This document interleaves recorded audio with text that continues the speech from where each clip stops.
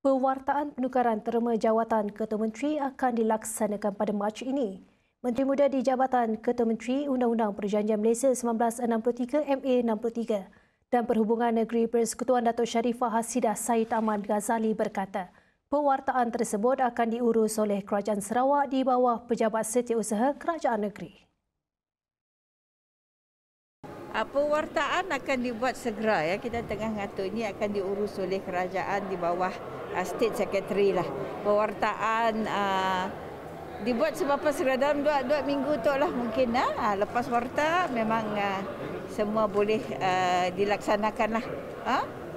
Sementara itu berhubung dengan tuntutan 1 per 3 kerusi parlimen bagi Sarawak, beliau berkata kerajaan negeri juga akan meneruskan perjuangan tersebut. Menurutnya perkara itu akan dibawa ke peringkat tertinggi untuk dibincangkan. Tambah hasidah dengan pelaksanaan perkara itu nanti diharap dapat menonjolkan lebih ramai wakil rakyat Sarawak melibatkan diri di parlimen.